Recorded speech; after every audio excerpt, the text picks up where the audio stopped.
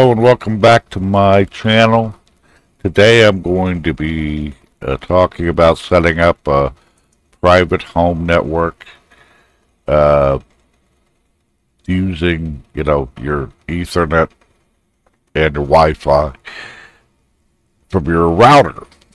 It's usually provided by your ISP, Internet Service Provider.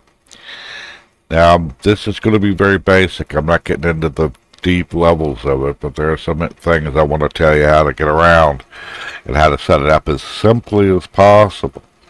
Now I've got a brand new computer here. It's a Windows 11 Pro and my and it's hooked in to my router wired in with Ethernet with Ethernet. And my Windows 10 PC is hooked in or connected uh, to my router from my Wi-Fi.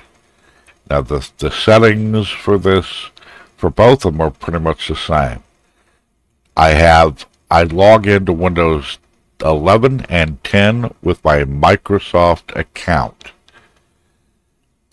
And so it's the same name and all that. Now we want to go down to uh, uh, network and internet settings. You can do that at the bottom here right click network and internet setting. Now this is on Windows 11 and um, it's connected to the Ethernet. Uh, pretty much the same thing setting it up slightly different uh, uh, screens on Windows 10 but um,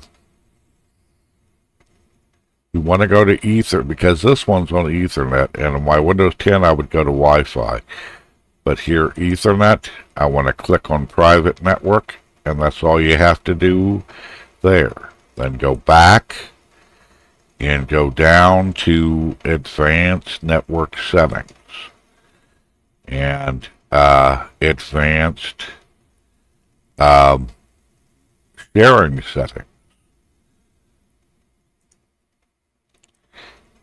And you would have click on network discovery on. I have set up network connected devices automatically. File and print sharing is on. Now when I go down to all networks below that. And I've turned on uh, public folder sharing, encryption, you should pretty much leave that alone, and password protected sharing, I've left this on. Only people who have a user account and password on this PC here can access, access shared files, printers, and public folders. Why did I not turn that off? If I, I can turn that off, that means anybody connected to my router can access the files. And I don't want that.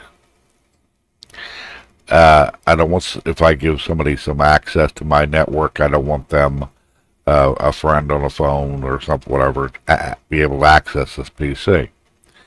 And that's basically how you set up the network. Now you want to go to accounts and go down to um, sign in options. Now you can do whatever you're going to do this, facial recognition and all that. I have all that turned off. I have Windows Hello turned off. I come here to password and click this and it lets me sign in with my account's password. This is my Microsoft account password. I am not using a local account on either computer. I'm using the Microsoft account. The thing here is I need to log in with the password because the PIN will not allow the network to connect to each other. Or the computers, that if you log in with a PIN, it will not connect. So, that's all you have to do with that. Next, if I go down to my uh, File Explorer, you'll see my computer, my other computer here.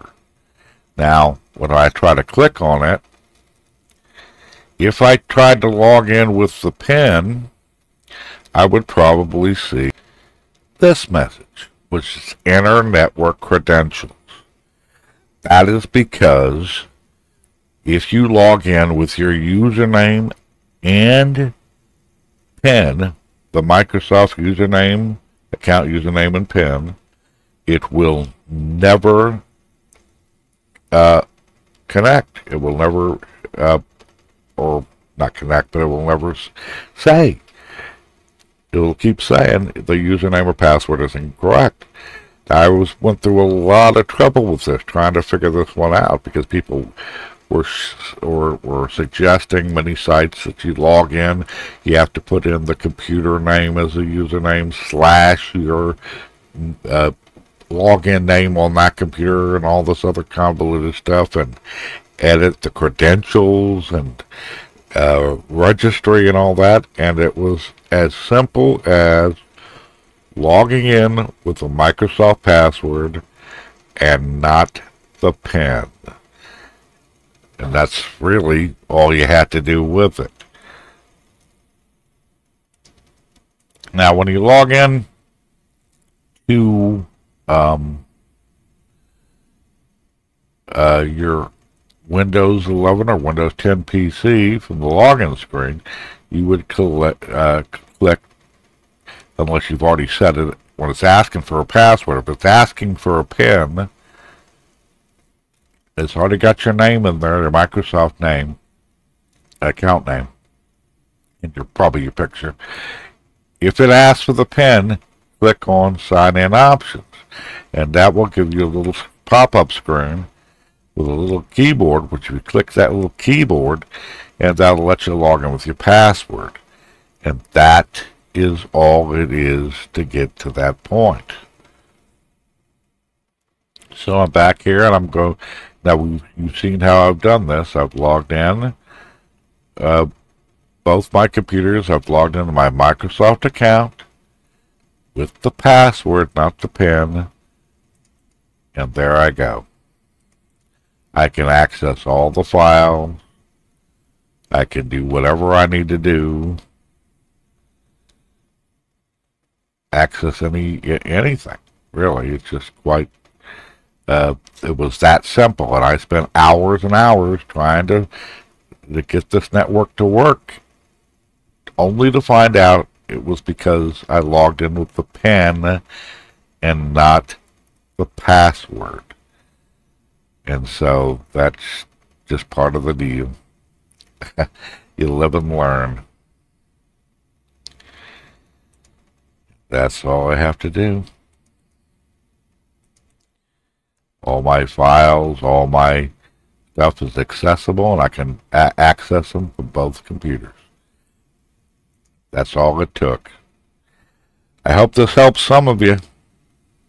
If it, if it doesn't work for you, I just have no clue because I spent hours trying to figure this out, and this is what worked for me best. Hope this helps. See you again soon.